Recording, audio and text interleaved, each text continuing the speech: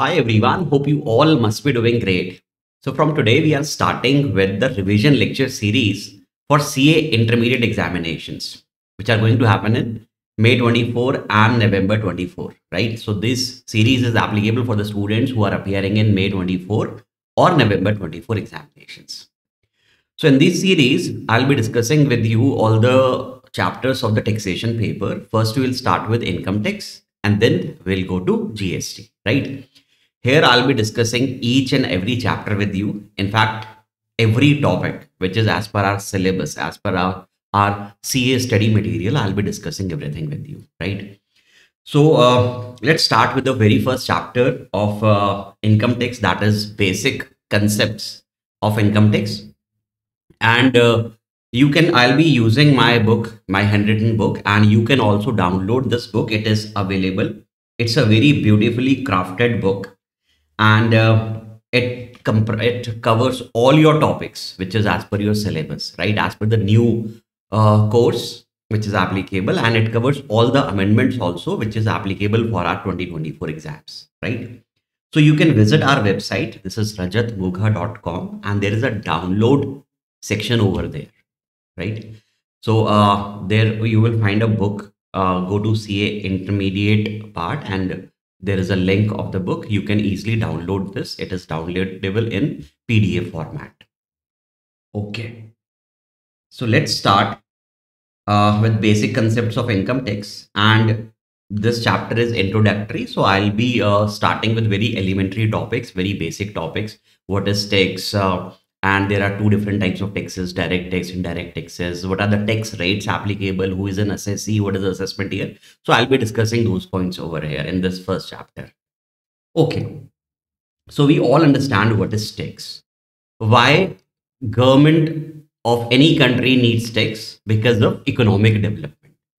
We understand that uh, if any economy needs to get developed so their education sector must be strong their health sector, their infrastructure, they should have a good infrastructure in the country. And defense system must be strong. So for, for making these things strong, for uh, developing a nation, we require funds. Government of government of any country require fund, and so is India. We require funds.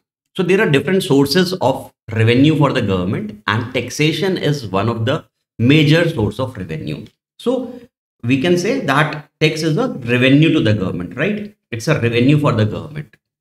And they levy taxes on various goods various services that we known as gst and also on uh, people's income. If they are earning then they have to pay taxes. So taxes are fees charged by the government on products income or activity. That we understand and we also know that there are two different types of taxes direct tax and indirect tax see this is introductory lecture so that is the reason i am starting with very basic topics. So direct tax and indirect tax what is direct tax and indirect tax you easily understand this. Direct tax is that here you just have to remember two things. One is called burden of tax and other is called collection of tax and if it is on the same person then we call it as a direct tax so we understand if the burden of tax burden of taxes is that who will bear this tax who will borne this tax from whose pocket it will actually go so that is called burden of tax. And a burden of tax and collection of tax. Collection of tax means government will collect from whom. So if these both the things are from the same person, we call it as a direct tax. And income tax is a classic example. See, for example, if I am earning income, then I have to pay taxes. Burden of taxes on my pocket. I have to pay tax from my pocket, right?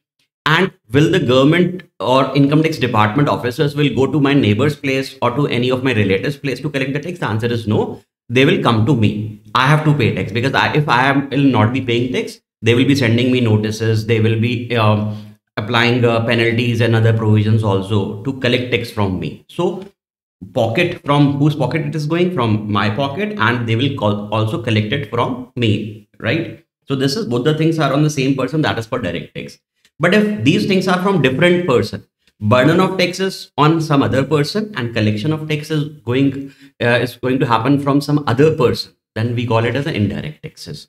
A classic example is GST. Uh, customs duty is also one of the examples which you will learn in your uh, CA finals. And there was a tax there. In fact, there it was not was it was is because excise duty is not completely abolished. Still, there are some goods. Rarely there are some goods left on which excise duty is also applicable. So excise duty is another example of indirect taxes. So uh, in indirect taxes, let's say if you go to market, if you purchase any product or if you purchase any services, then you have to pay that amount. For example, you go to um, a restaurant or you go to a Pizza Hut or Domino's, you purchase a pizza for you. And the pizza cost is 400 plus 50 rupees as taxes. So you have to pay 450 rupees. So who is bearing the burden from whose pocket it is going? From the consumer pocket. They have to pay 400 for the pizza also and 50 rupees for the taxes also. Correct? So 450 is going from the consumer pocket. But will government will collect this 50 rupees from that consumer? That consumer has to go somewhere and deposit this tax no he will simply pay to that restaurant owner or uh, that restaurant manager he will pay and government will collect from someone else right uh, in gst we know that it is a supplier generally in case of forward charge and reverse charge that we will discuss in gst so burden of tax and collection of tax is on different person. It is indirect taxes, right? Okay. This is, uh, and I tell you that this is just for your knowledge purpose, not very important for examination purpose, these things. But this is, this can come in your MCQ. You should remember this article 245. What does this article say? It says that no tax can be collected unless and until there is a law. There should be a law. Without law if you are collecting taxes that is illegal so in income tax we have income tax act 1961 in gst we have gst act uh, cgst sgst and all. We have 2017 so there must be a law. If there is no law you cannot collect government cannot collect tax. This is written in article 245 this is important. Second important thing is you should know about those three lists list 1 list 2 list 3 remember list 1 is called union list. Uh, list 1 let me explain you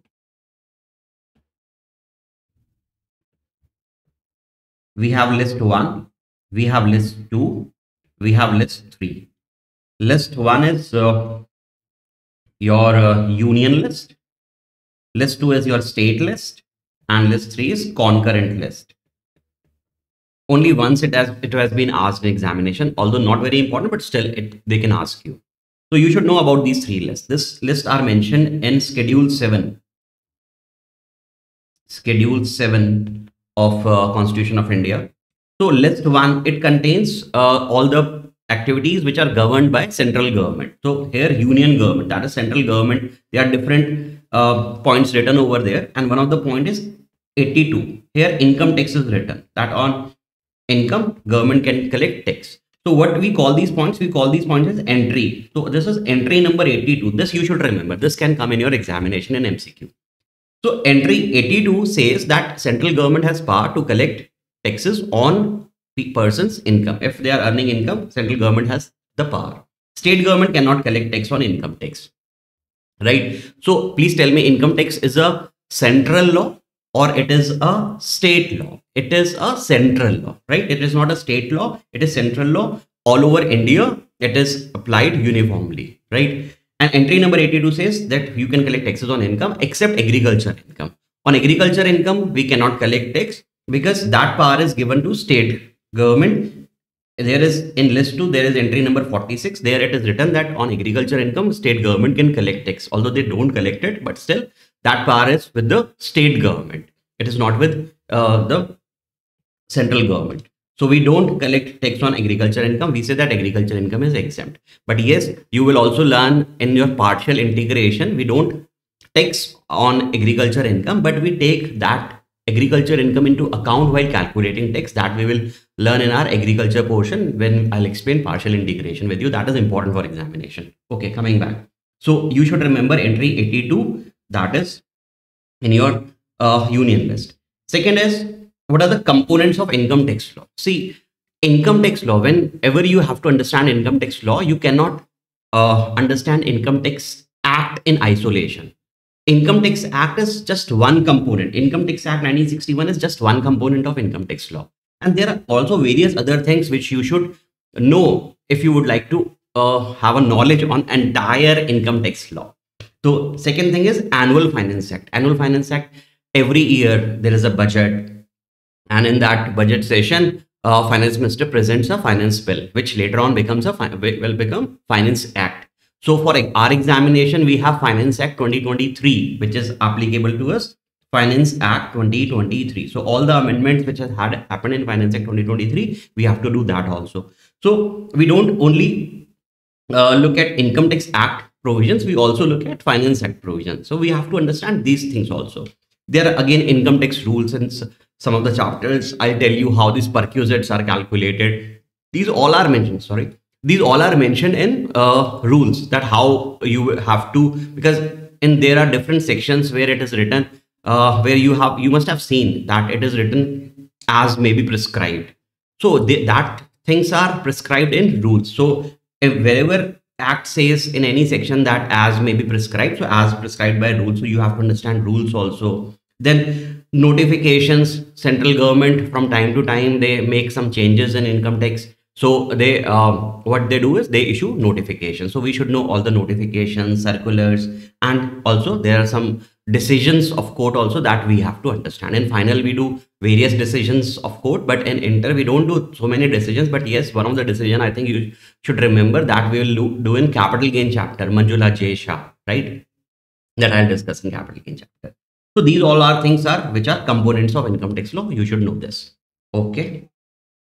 Then various there are various terms. Who is an assessee? Assessee is a person who has to pay tax. The person who is earning income and he has to pay tax. Not only tax if that person has to pay other amount also to the income tax. Let's say that person has paid the tax but he has not paid the interest. Let's say interest is also levied on him or any other penalty is levied on him. If income tax department has to collect taxes or any other amount like interest penalty etc then that person from that person from whom we have to collect this that person becomes an assessee. So in simple word the person who is earning income is an assessee right? And also if income tax officers assess any person if they do some assessment on that we will discuss in our chapter that is return of income that how many types of assessments are there.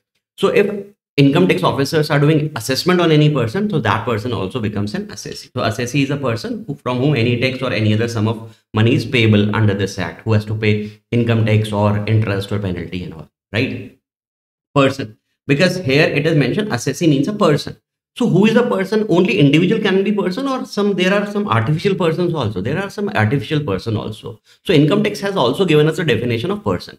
So in person that person could be a natural person like individual and they could be like huf aop boi association of person body of individual. They can be artificial juridical person like temple mosque gurudwara taitis church etc right they can be partnership firm also. Partnership uh, firm is also assessed as a person right? As a firm or a company also could be a person. So there are individual huf company partnership aop local authority artificial juridical, uh, juridical person. So you should know that these are all person. If they are earning income they have to pay taxes. What is assessment year and what is previous year? This is the easy. So what is assessment year? It is a period of 12 months. First, you understand? It is a period of 12 months. And in assessment year, we assess the income of the income which we have earned in the last year. In last year, we say is previous year. So in previous year, whatever income we have earned, we will assess it in the assessment year.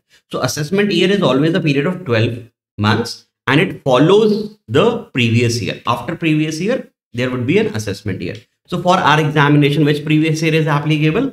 Previous year 23 24 is applicable so whatever income which we have earned in previous year 23 24 that is from 1st april 23 to 31st march 2024 whatever income which we have earned we have to assess that income in the assessment year so uh, previous year means the year in which we earn income and the assessment year is the next year where we have to pay the taxes or we have to assess our income so assessment year, one thing you should remember, assessment year, it is also always a period of 12 months.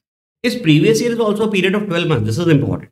The answer is generally yes. I'm saying generally. Why I'm saying generally? Because previous year is generally of 12 months. Previous year starting from 23 and 24.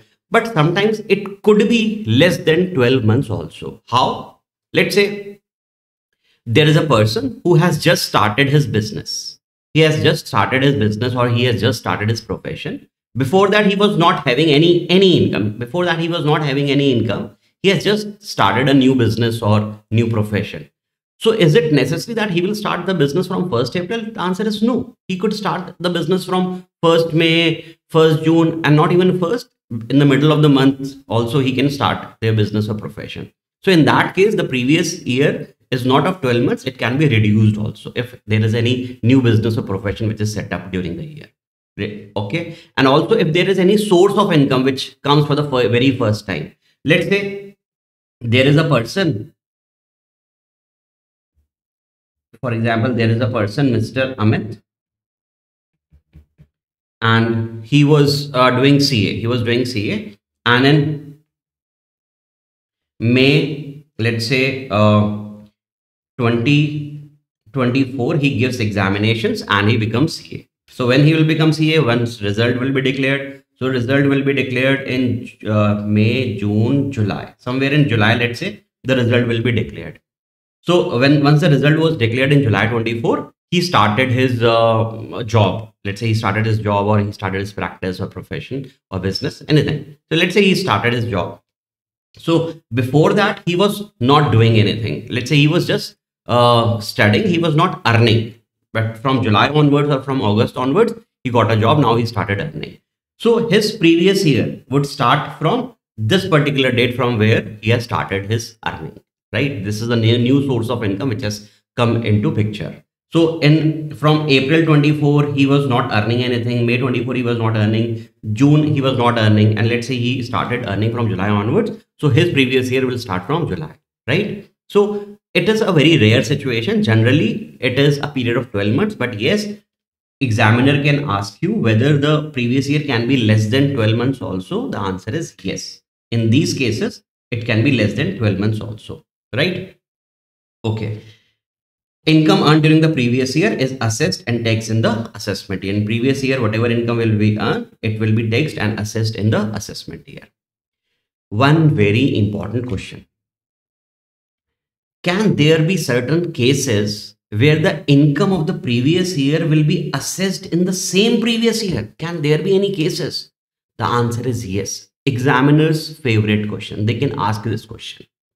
Generally, we know general law is that in previous year, whatever income we will be earning, that will be assessed in assessment year. But are there any cases where the previous year income is assessed in the same previous year? The answer is very much yes. There are certain cases uh, uh, in what cases, in what circumstances can it be? Let's say if there is any assessee, uh, which income tax officers believe that he will not be available in assessment year. He will not be available. He will be either uh, gone from, he will be, he will be leaving India forever or he will not come back. So in that case, we will assess the income of the previous year in the same previous year itself. Or there is any non-resident if he will not come back so these this is something which is important. So you can mark this important. This is page number 1.4, right? So please mark this important. So you don't have to remember the section number, but you should know these cases where the income of the previous year is assessed in the same year. So if there is a shipping business of a non-resident, so if there is a, any US company, they are into shipping business. So uh, once they came India, once in a blue moon they came India, and uh, they are now leaving. And uh, we don't know whether they will come back or not. So in that case before leaving that uh, before leaving that indian port we will ask them to pay their taxes also. So non-resident shipping business. So it is resident shipping business or non-resident? It is non-resident shipping business. Okay. Second is person leaving india with no intention of returning. If he is going out and he has no intention of coming back then we will collect the tax from the same pre- in the same previous year AOP BOI formed for a particular event or purpose. If there is any association of person or body of individual that is formed only for a particular purpose. Let's say if there is any event happening or any function happening and there is two or three person they join together as an AOP or BOI and they will be managing that particular function and for that they will be paid. And that function will last for three or four days, right? So after that, uh, for only for four days they got uh, they got together and they are doing that particular venture and after that they will be all divided right so in that case because in if we'll wait till assessment year, there will be no AOP or BOI in the assessment year. So in that case, we will be taxing them in the same previous year, right?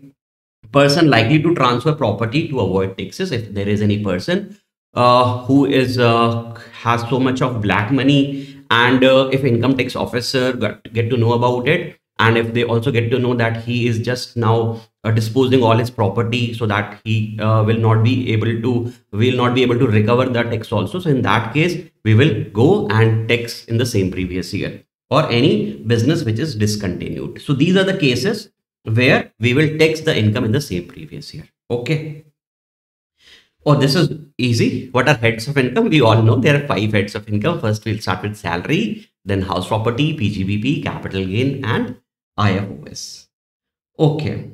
Now it is important, and there is an amendment also in the income tax rates. So you should know about income tax rates also. For individual HUF, there is an amendment also. And in the new scheme, which we call now a default scheme, there is an amendment also. Now the income tax has been rate has been changed from the last year in 2024. Now we have different income tax rate. So for individual HUF, AOP, BOI, artificial juridical person, we understand that these people, these kinds of assessee pay their taxes at the rate on a slab rate basis. And for companies and firms, they pay tax on flat rate system. So in India, we have both types of rates, slab rates and flat rates. But first we'll talk about this and specifically in intermediate examinations, you understand that individual is most important. You should know about individual. They will not ask you uh, questions about partnership firm or companies and all. Rarely they will ask you the rates and everything, but uh, entire uh, your all the questions will cover generally of individual or HUF, mainly individual. Okay. So these people, individual, I repeat, individual, HUF, AOP, BOI, artificial juridical person, they pay taxes on the basis of their slab rates. So, and they have two options. Either they can pay their taxes by using the new scheme that is called new regime. And now it is called as a default tax regime. And the section number is 115 BAC. This is one of the important section. And if you can remember the section number, then it will be good. 115 BAC. It is for the new tax regime, which we call it as a default tax regime. So these people have an option they can pay their taxes as per the default tax regime also or as per the old scheme which we call it as an optional scheme now we don't call it an old scheme we call it now it as an optional scheme but it is same thing it is old scheme only right so there are two kinds of so if any individual would like to pay their taxes they have an option either they can go with the default tax regime or they can go with the old scheme that is we call it as an optional scheme so uh, what is the tax rate in the new tax regime? This is important and there is an amendment also. And certainly question will come. Even MC can, can come, then uh, they will ask you that this is the income of an assessee and he is following individual scheme. What would be the tax on that? So if the individual HUF, AOP, BOI or uh, AJP, that is artificial juridical person, if they are following default scheme, they have to pay rates, they have to pay taxes as follows. Okay. So if they have total income up to 3 lakh, so till 3 lakh, they don't have to pay any taxes. If they have total income up to 3 lakh, the tax is nil. And on next 3 lakh, that is from 3 lakh 1 rupees till 6 lakh rupees, that is for next 3 lakh, they have to pay 5%. Next 3 lakh from 6 to 9, 10%, 9 to 12, 15%, 12 to 15, 20, and after 15 lakh, 30% right? So it is a concessional scheme of taxes. The answer is yes. Because in old scheme, in the optional scheme, after 10 lakh, we pay 30%. But here, after 15 lakh, we are paying 30%, right? So this is a concessional scheme. And how you will learn that? It is very easy to learn. So see, in total income, there is a difference of 3, 3 lakh. And after 15 lakh, it is going to 30%. So first three, next three, next three, next three, next three. And once you reach 15 lakh, it would be your 30%. So there is a difference of 3, 3 lakh and there is a difference of 5, 5%, right? So that is easy to remember. First it was 0, then 5, 10, 15, 20, going on multiple of 5. Once you reach 15 lakh limit, that is 20%. After that, it is not 25, it is now direct 30. So you should remember the last one. Now from 20 onwards, it is not going to 25, it is going on 30, right? So these are the concessional rate. This is default tax regime rate. Earlier it was 2.5 lakh and so now it is 3 lakh. Okay, so this is an amendment. And you understand that if a, any person, individual HUF, AOP, BOI is following these particular rates, then there are certain deductions, there are certain exemptions which will not be available because we are not uh, giving two benefits to them. One benefits we have given is concessional rate. So we will take one benefit from them. The other benefit is which we are taking away from them is the sacrifice they have to make is they don't have to, they can't claim certain exemptions and deductions, which we'll be doing in our subsequent chapters in salary, what deductions they cannot, they will not be getting in house property, what uh, for self-occupied property, they don't get that 2 lakh deductions.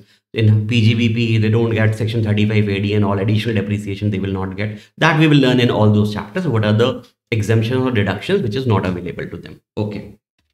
Second most important thing you should remember is in default tax regime, uh, there would be no benefit for the age also. For senior citizen or for super senior citizen, there will be no benefit. They will be all of them will be paying the taxes if the person is individual HUF, AOP, BOI. If the person is individual, their age is more than 60 years or more than 80 years also, they will be paying tax. There's a similar rate of tax for everyone. In optional scheme, in the old scheme, we have benefit for senior citizen and super senior citizen, but here we don't have any such benefit. So everyone would be treated equally. So this is important thing which you should remember. Got it? Okay. So in optional scheme, what was the tax rate? It was earlier. There is no amendment there. So it was the same as earlier. So up to 2.5 lakh, if the person is following, he say he's saying, no, no, I want to take those. I don't want to sacrifice those exemptions, those, those deduction. I'll be taking that. That would be beneficial for me. So if the person is opting for uh, optional scheme, that is old scheme, so the rate of tax would be up to 2.5 lakh nil. Next 2.5 lakh, that is from 2.5 uh, lakh to 5 lakh, it would be 5%. From 5 lakh to 10 lakh, actually it is 5 lakh 1 rupees, right? It is 2 lakh 50 thousand one rupees. So, but we understand that first 2.5 lakh nil, next 2.5 lakh 5%, next 5 lakh is 20%, and after 10 lakh, we have to pay 30%. See, here after 5 lakh, you are paying 20%, and there you are paying 20% after 12 lakh. So this is concessional and this is not concessional. But yes, you get certain benefits here. You get certain deductions also here. So there is a new chapter which is introduced in your uh, syllabus that is income tax. We will do it in the last.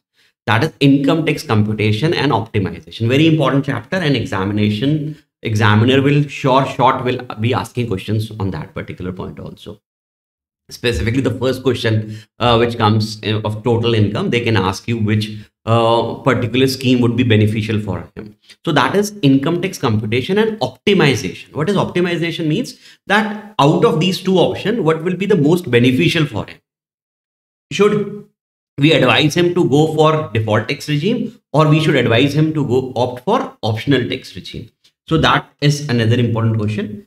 And one more thing if the person is following optional scheme and if they are resident individual and whose age is more than uh, sorry 60 years or more then they will be getting benefit of 50000 that up to 2 point generally up to 2.5 lakh they don't have to pay tax. But if the person is a senior citizen then up to 3 lakh they don't have to pay tax. So there is a benefit of 50000 so up to 3 lakh there is no tax from 3 to 5 this is something which is the same as earlier 3 to 5 lakh 5%, 5 to 10 lakh 20 and about 10 lakh it is 30%.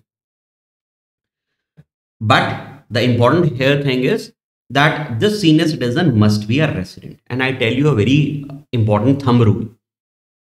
In income tax, there is so many uh, benefits which are available to senior citizens. But in every case, wherever these benefits are available, it is important that that senior citizen must be a resident. In income tax act we are not going any we are not going to give any special benefits to non-resident senior citizen. So if a senior citizen is a non-resident we will be uh, giving them normal provisions. We will not be giving them any special benefits which are available to senior citizen. So that senior citizen must be a resident. This is important. okay this is important. Resident can be ordinary not ordinary. That is okay but that person should be a resident individual. So if a person is a resident individual and his age is 60 years or more, one important thing. We say see for our examination, the previous year which is applicable is previous year 23 24 so which starts from 1st april 2023 and will go will go till 31st march 2024 so due in this previous year these dates both these dates are included. So if a person becomes of age 60 in any of this on any date in this year from 1st April 23 till 31st March 24. If he becomes 60 years of age, we will call him as a senior citizen. Let's say he becomes 60 years, his birthday is on 31st March 2024. So we will call him as a senior citizen, right? right? We don't have to see the date of assessment year. We have to see of only of previous year. One important point. Also, we will give add one more day extra. That is 1st April 2024 first april only one day extra not second april. First april not second april just first april. We will give one day extra also. So if a person is becoming a senior citizen on not in the previous year but on first april 2024 we will again consider him as a him or her as a senior citizen right? So this we discuss uh, generally we discuss this in our regular lecture why one more day is given but this is revision. I think you will get to know this right? So please remember if a person is becoming a senior citizen on first day of the assessment year also that is 1st april 2024 for examination then also we will be considering that person as a senior citizen correct? So this is important. Okay.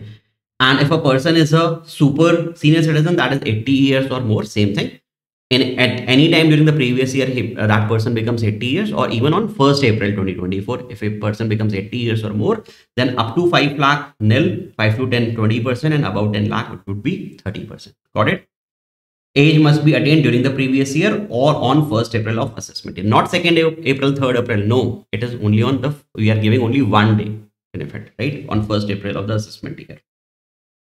But these benefits will be given only and only in the case of optional tax regime, it will be not be given in default tax regime. Correct? Okay. One more important question which examiner can ask, whether an individual, such individual HUF, AOP, BOI, can they, in one year, they can choose optional, in second year, they can choose default tax regime. Is it okay with them? The answer is yes also and the answer is no also, right? Why? It depends upon their PGBP income. It depends on PGBP income. If they would like to switch between, if they would like to keep on switching between optional and uh, your uh, default tax regime, so it depends upon the PGBP income. If the per assessee does not have PGBP income, then we, you are free. You are free in one year. If you find default tax regime is beneficial, you can go for default tax regime. In second year, if you find optional scheme is beneficial for you, then you can opt for optional tax regime. So if you don't have PGBP, we have no problem. You can switch between the two schemes. But if you have PGBP income, if the assessee has a PGBP income, then they cannot switch. Once they have opted, if a person has a PGBP income and once they have adopted default tax regime, they cannot go back. They cannot go back. This is important. Got it? They cannot go back but the exception here is if in any subsequent year that person does not have PGBP income, if that PGBP ceases, he shuts down his business or he shuts down his profession. If that PGBP income ceases, in that case, he can come back. But unless and until till the time he is having PGBP income, he cannot go back. So once he has adopted default tax regime, you cannot go back, right? So this was important. It was on the previous page. So assessee time limit for exercising the option to shift out of the default tax regime if the assessee does not have PGBP income. So they can change every year. Whenever they will be filing their return, they can change it. They can opt which scheme they are uh, opting this year. But if the assessee has PGBP income, once they have exercised the option of default tax regime, once default tax regime was applicable, they have exercised that option, they cannot go back till they have PGBP. Once that PGBP ceases, then they can go back, right? So this is important. Companies and firms, we understand there is flat rate. For firm, it is 30%. Companies, it is 30 also, 25 also. And foreign companies, it is 40 also. That I'll discuss with you. Okay. First, let us discuss a very important point 87A rebate. And in default tax regime, in new scheme, there is an amendment also that will uh, be uh, making this section very important. And uh, I am quite sure, I am quite sure that one question will be coming from this 87A rebate. I'll tell you which question. Okay. First of all, this rebate is eligible. The person who is eligible is only and only resident individual, not even HUF. So this rebate, you should remember this rebate is only for individual, not for any other assessee and that individual must be a resident. It is available in both optional tax regime also, old one also and in new one also. Okay. So in optional tax scheme, there is no amendment, but in new tax regime, that is default tax regime, there is an amendment. So what was in optional tax regime? In optional tax regime, it was if a resident individual whose total income is up to 5 lakh, then they are eligible for rebate. And how much rebate they will be getting? Whatever the tax is there on their income or rupees 12,500, whichever is lower. So you understand?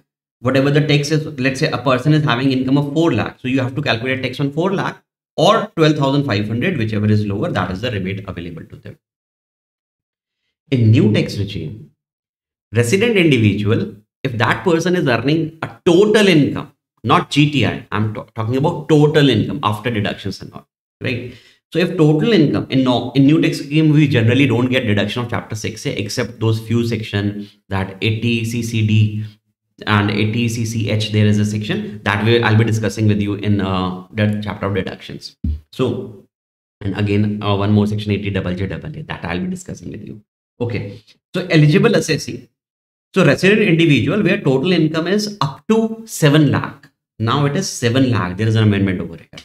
So if the total income is up to 7 lakh, then this person can go for rebate. And how much rebate he will be getting? the tax on that income, let's say if a person is earning 6 lakh or 6.5 lakh or even 7 lakh, you calculate tax on that income or 25,000, whichever is lower. So you should remember this amount 25,000, whichever is lower. How this 25,000 is calculated? If you will calculate tax on 7 lakh by following these rates, you will get 25,000. See, if a person is earning 7 lakh, so on first 3 lakh, nil. On next 3 lakh, 5%, right? 3 lakh 5% is 15,000 and on remaining 1 lakh 3 plus 3 plus 1 7 it is coming. So on remaining 1 lakh 10% that is 10,000 rupees. So this is 25,000 so this is how we'll, I'm getting 25,000 so if a person has a total income of up to 7 lakh then they can go for rebate tax on income or 25,000 whichever is lower right? Now the important point is if any person who has income of 7 lakh 1000 will he be eligible for rebate? Will he be eligible for rebate? The answer is no sir because we know that up to 7 lakh then you are eligible for rebate. But if the income is 7 lakh 1000 or 7 lakh 2000 will he be eligible for rebate? The answer is still yes the answer is still yes. There is some rebate available to him. And how that rebate will be calculated for that you should know the concept of marginal relief. Because it is very similar to the concept of marginal relief. So i'll be discussing uh, the concept of surcharge with you. And i'll be discussing the concept then with surcharge we'll be doing marginal relief. After that i'll be uh, telling you how this rebate is calculated. So surcharge although in our study material surcharge is discussed in this particular chapter only but I have uh, been discussing surcharge in a separate chapter. I, and if you uh, look at this book, there is a chapter, second last chapter, I believe it is of surcharge. There I'll be discussing surcharge with you, marginal relief also with you, and this concept also of rebate because which is very much related to it is like same like marginal relief, the same method which you apply for marginal relief, the same method you apply for rebate also. So, uh, but here in optional scheme, if a person is having income of 5 lakh 10 rupees also there would be no that concept. There there will, will not be using that concept. Here it is just 5 lakh. If that person is having income of 5 lakh then there is rebate. If it is more than 5 lakh there is no rebate at all. But here we have that concept in optional tax regime. So that i'll be discussing with the uh, chapter of surcharge. Okay there are few points in uh, chapter number one like agriculture income agriculture income i'll not discuss in this class I, I am I uh, will discuss agriculture income with our PGBP, right? So new tax regime also I'll be discussing detail about new tax regime, what are the deductions which are not available because in every chapter, with every chapter I'll be telling you that this is uh, will apply only in optional tax scheme if it will not apply in new tax regime. So in new tax regime, what are the deductions which are not available? I'll be discussing in further chapters. In each and every chapter, I'll be discussing with you, right? Surcharge, we have a different chapter. Agriculture income, although institute had has discussed that agriculture income in the first chapter itself, but I'll be discussing that chap that particular topic with you in PGBP. Okay. Okay. One more important point. One more important point is there that rebate of 87A is not available from 112A income. What is this 112A? We understand we have a chapter of capital gain. In capital gain, capital gains are of two types short-term capital gain and long-term capital gain. Right? If a person short-term capital gain generally we understand uh, generally it is if person is transferring their asset before three years in some cases it is two years and in some cases it is one year also. That we will discuss be discussing in uh, the chapter of capital gain. But here just i would like to give an overview. If a person is selling equity shares if a person is selling equity shares or equity oriented units if the person is selling equity shares and equity oriented units on a stock exchange on a stock exchange it is written it is mentioned in the question that it is stock exchange or STT is mentioned securities transaction tax is mentioned then we understand that it, this transaction is happening in a stock exchange. So if a person is selling equity shares or equity oriented units on a stock exchange or STT is paid anything which is mentioned in the question then we call such short term. We call such short term is as triple one a. That is called triple one a other short term is not triple one. Other short term is not let's say if a person is selling gold after six months seven months that is also short term. But that is not triple one way. Triple one a is only and only if we sell equity shares or equity oriented units or units of business trust business trust is not an intermediate course so i'm not discussing that. So okay. Equity shares equity oriented units then it is triple one right? So you understand triple one is short term only and only in case of equity shares or equity oriented units. Okay. And the rate of tax is 15%. Here the rate of tax is 15%. Everybody has to pay tax at a rate of 15%. Whether that person is individual also, HUF, AOP, BOI, artificial judicial person, even partnership firm or companies also. Everyone has to pay tax at a rate of 15%. Here we have special rate of tax is 15%. Long-term capital gain. If that equity shares or equity oriented units, if they are long term, we are selling it after one year, then we call them 112A. We call them 112A. Other long term, we call it 112. So these are three sections which I would like to discuss. These are three sections which I would like to refer over here. So triple one A short term capital gain on equity shares or equity units. If they are short term, triple one A 15%. And if they are long term, then 112A and here the rate of is 10%. Here the rate is 10%. Also, we understand that in 112A, there is, I'll be discussing that in capital gain, that in 112A, if you are having income of let's say 5 lakh, 6 lakh or 7 lakh, then we give an exemption of 1 lakh. 1 lakh is exemption, is a flat exemption.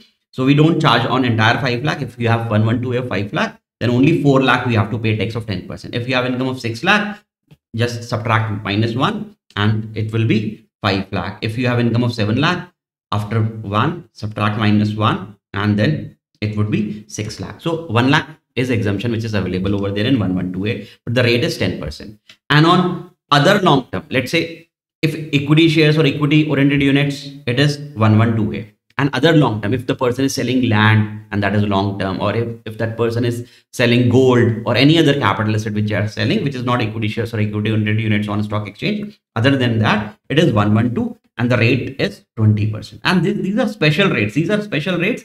It is applicable for everyone. Individual, HUF, AOP, BOI, even partnership firm, companies and all, everyone has to pay these special rates, right? We understand partnership rate is 30%, but 30% is normal income, but we have special income also, right? So I was telling you that this rebate, this rebate of 87A is not available from 112A. What was 112A? Long term equity shares or equity oriented units on stock exchange or STT, right? So in that case, if a person is having, let's say there is a person who is having an income of 6 lakh and he is in new tax regime. And this 6 lakh is coming uh, entirely from 112A. So he will not be getting rebate. So this is uh, one thing which you should remember that 112A is not, uh, sorry, 87A rebate is not available from 112A. Right? 112A I have written discussed later because this is a part of capital gain. Okay, surcharge is an additional tax which you have to pay. Let's say for individual, if he's earning income of more than 50 lakh, then there is surcharge which is uh, which would be applicable if more than 1 crore, then 2 crore, 5 crore. That I'll be discussing with you. I've already mentioned that I'll be discussing with you in a separate chapter, surcharge and margin relief. Okay, health and education cess.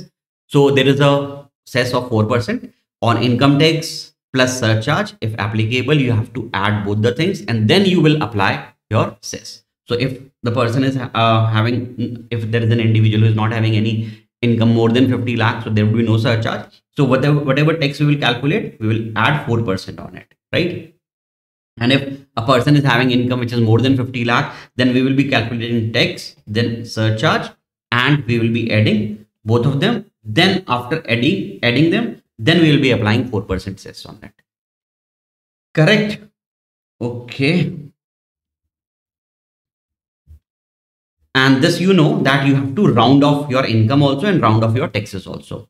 So rounding of income is section 288a rounding of taxes 288b even if you don't remember the sections it's okay perfectly fine. But you should know that you have to round off your income.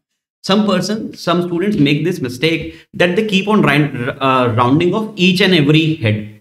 If they are earning income from salary they will round it off. If they are earning income from house property they will round, round it off. No. You don't have to round off each and every of your heads income. You have to round off your total income.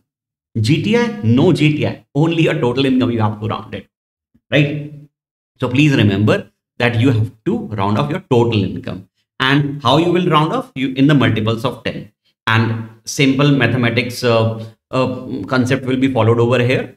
If the last digit is uh, up to 1, 2, 3 or 4, up to 4, then you have to come back in the previous multiple of 10 and if it is last digit is 5 or more than 5 then you have to further round it off in the succeeding 10 so let's say if your total income is 2 lakh 40,000 343 then what you have to make? You have to go back. So this is 240 340 right? And if this is not 343 but it is 345 or 346 then you have to take it 2 lakh 40,350 okay same concept of mathematics. So you have to round off your total income. Not every head not gti total income you have to round off and you have to round off your taxes also. Before cess and after cess after cess whatever is your tax payable whatever is your tax payable or tax refundable you have to round off that right? Same concept will be followed. If the last digit is up to 4 then previous multiple of 10 if it is 5 or more than 5 then next multiple of 10 okay Taxes on other SSE. So partnership firm, we understand that the tax rate is 30%. LLP, LLP is also a partnership firm. Once it was asked in an MTP that how LLP is assessed, LLP is nothing but a kind of partnership firm. So the tax rate is 30%. But on those special income, like which we have discussed, triple one A, one one two A, and one one two, we have tax rate of 15%, 10%, or uh, 20% as applicable, right? So on normal income, they have to pay tax of 30%, but on other income, they have, if they have special income, they will be paying, paying tax at the special rate. Companies. First of all, companies, they have a flat rate, flat rate of 30%, flat rate of 30%. But if it is not a very big company, it's not a very big company whose turnover is up to 400 crore in the previous year, 21-22, then that domestic company has to pay tax of 25%. So for domestic company, it is 30%, but for if it is not a very big company, the turnover is not more than 400 crore in the previous year 21-22. Why we take 21-22? I'm not discussing here. We take, uh, uh, discuss in regular lectures, but here just remember that if the previous year 21-22, if it is 400 crores, up to 400 crores, or less than 400 crores, then the flat rate would be 20, 25%, otherwise 30%. There are other rates also. 22%, 15% also there is section like 115, B, AA, BAB, etc. But that is not an intermediate, so I'm not discussing those sections. Just remember that for companies, domestic companies, it is 30%, but if it is not a very big company, then it is 25%. For foreign company, you should know 40%. For foreign company, it's 40%. Just you remember this rates.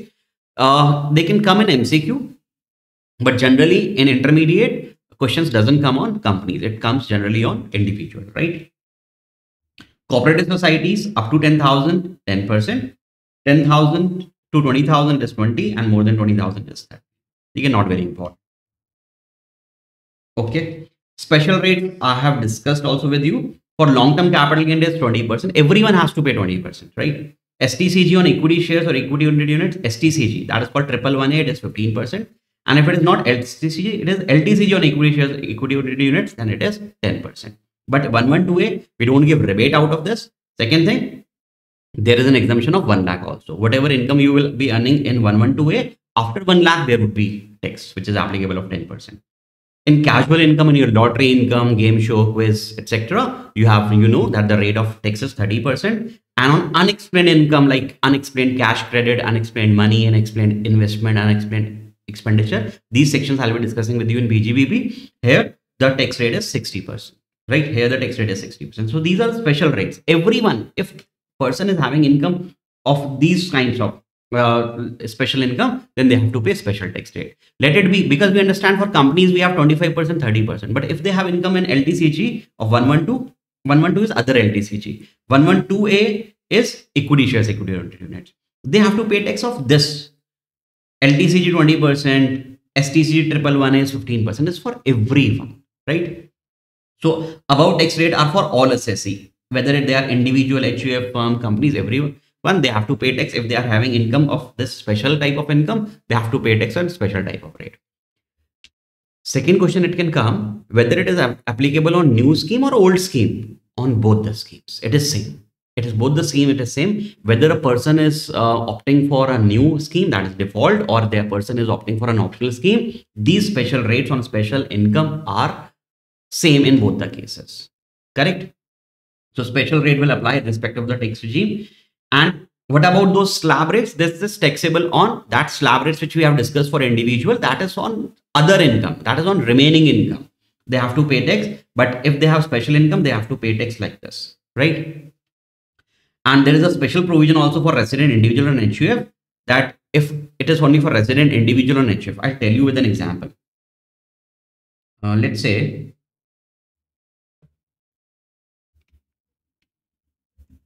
look here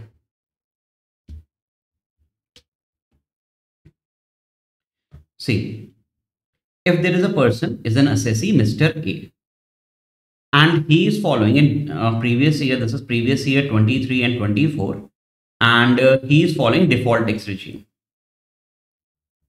Default tax regime, we understand that there is a basic exemption limit, basic exemption limit of how much? 3 lakh. Till 3 lakh, that, that person is not required to pay taxes. Let's say in this year, he has income from salary 1 lakh. This is computed income, 1 lakh. And he has income from capital gains. Let's say 4 lakh. And out of this, rupees 3 lakh 80,000 is 112. This is 112, that is LTCG. It is normal LTCG. We understand that this is chargeable at 20% okay uh, let me add one more thing also over here uh, this is 3 lakh 50,000 it is 112 and he has 20,000 rupees as triple one this is triple one is STCG we understand that here the rate is 15% 112 the rate is this is long normal long term and the rate is here is we understand 20%. We don't have 112A over here. 112A that is the rate is 10% which is applicable. And here's IFOS which is lottery income. This is lottery income.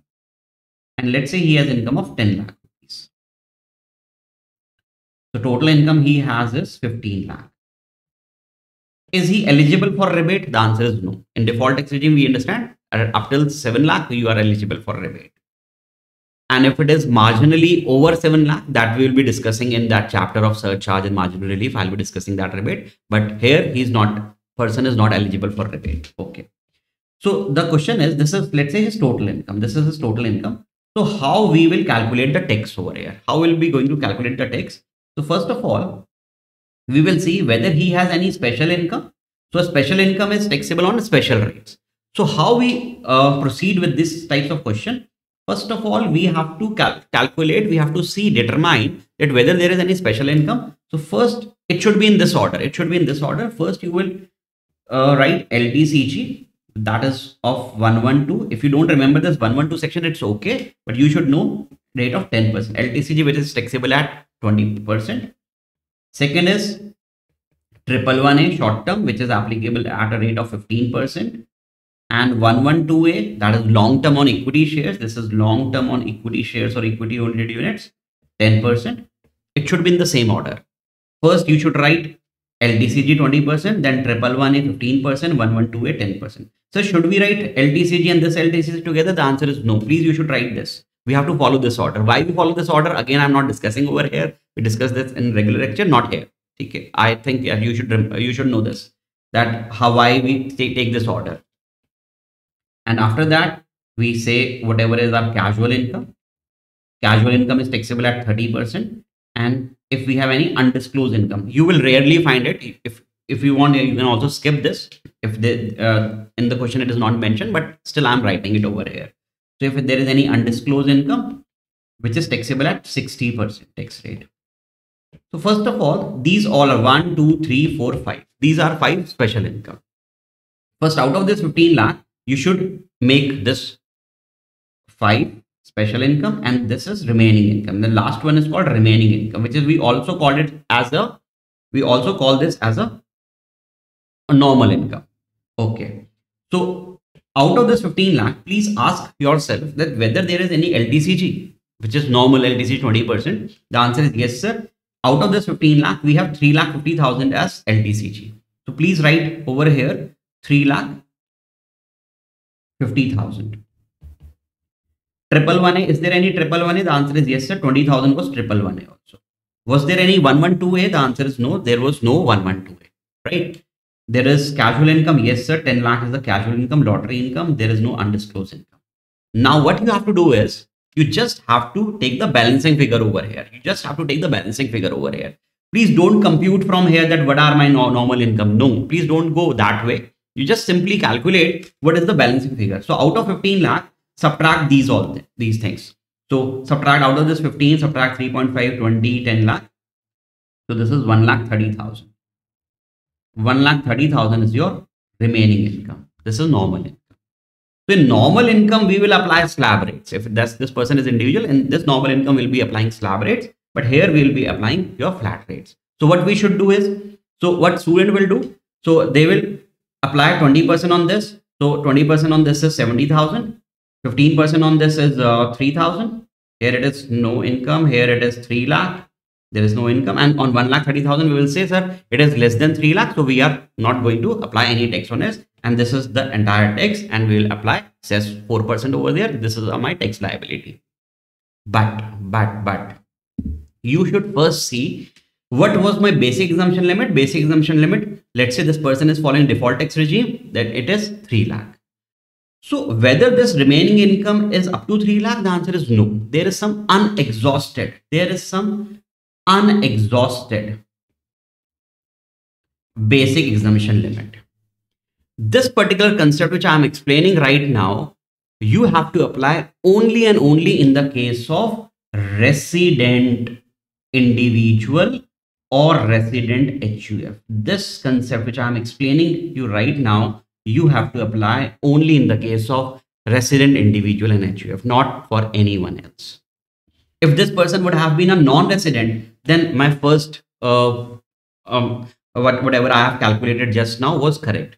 I have calculated on 3,50,000, 20% is 70,000, then it is 3,000 and so on. That was correct. If this person would have been non-resident, please don't uh, care about this unexhausted limit. You just simply calculate the taxes. But if this person is an individual or HUF, you should know about is there any unexhausted limit? The answer is yes. Because my basic exemption limit is 3 lakh and this remaining amount normal income which is coming is 130 so there is a difference of 1 lakh 70,000 there is a difference of 1 lakh 70,000 this is unexhausted basic exemption limit. And this is applicable in new in old scheme also. Let's say this person is following a old scheme optional scheme so his basic exemption limit would have been 2.5 lakh. So how much is the deficiency? 120 right? 2.5 minus 130 120 is the deficiency. That is called unexhausted basic exemption limit. So this unexhausted basic exemption limit provision you will apply only and only in the case of resident individual or HUF not for anyone else so here how much is my deficiency 1 lakh 70,000 I'm taking basic exemption limit as 3 lakh default tax regime okay so what you can do is you can fulfill this unexhausted limit from these three. From these three, you can fulfill. You cannot take this uh, basic unexhausted basic exemption limit from casual income or undisclosed income. Only from these three you can fulfill, and in the same order. First, you will see whether one lakh seventy thousand, which I want over here, whether it can be moved from LTCG of 20%. The answer is if it is yes, please move it from there. So here we can move it because we need 1,70,000, which is the unexhausted limit. We need it here. So we can move it from our LTCG, subtract 1,70,000 from here. Because we have 350 available, we can easily move 170 out of it. So first move from LTCG 20%. This should be in the same order. LTCG, triple one A, and then 112A. Right? We cannot move it from casual income or undisclosed income. First move it from LTCG. So it can easily be moved let's say if there would have been just 1 lakh if there would have been just 1 lakh so how can you move 170 you can just move 1 lakh out of it so if we move 1 lakh out of it so it would be 2 lakh 30,000 again there is a deficiency of 70,000 then we can move it from triple one we can move it from triple one a and if we can move 20,000 out of it still there is deficiency then we, we can move from 112 if it is available if it is not available then what we can do is can we go in casual income? No, we cannot go in casual income or undisclosed income to get the amount. So for movement, these two will not be used. Only these three and also in the same order. Okay. So first of all, I'll be moving 170 out of it. So if I'll deduct 350 minus 170, so this is 1,80,000. It will become 1,80,000. We don't want to move anything from here because we have already, whatever the amount which we require, that came from LTCG 170. So here it is 20,000 okay. So and it becomes 3 lakh now. So now you have to apply your tax rate. So this movement provisions this concept you will apply only in the case of resident individual or HUF not for anyone else. Okay. So on 180 you apply 20 percent tax rate 36000 on 20000 15 percent this is 3000 112a we don't have. Casual income 10 lakh 30 percent is 3 lakh. We don't have undisclosed and on 3 lakh we will apply slab rates and it would be nil right? Just add this tax. So this is taxes 3 lakh 39,000 apply 4% cess on it is rebate available no there is no portion uh, question of rebate the income is 15 lakh over here 3 lakh 39,000 4% is 13,560 and this will become 3 lakh 52,560. Got it? Let me check it once again. Yes, 350 to 560. Should we round it off? It's not required to round off because it is already in the multiple of 10. So this is how you move. This is how the concept of unexhausted basic exemption limit is will be applied, but this will be applied only in the case of resident individual or HUF. Right. So this is about the chapter number one revision. I hope that you find this revision interesting. Now, uh, what you should do is you must be having your study material or any other book which you follow. Please do those questions also. You should write them. You should have a practice of writing the answers.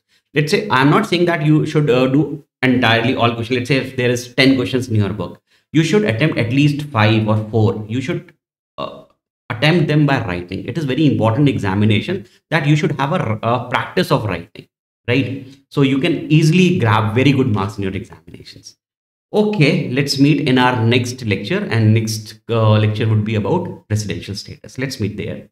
Okay bye. Take care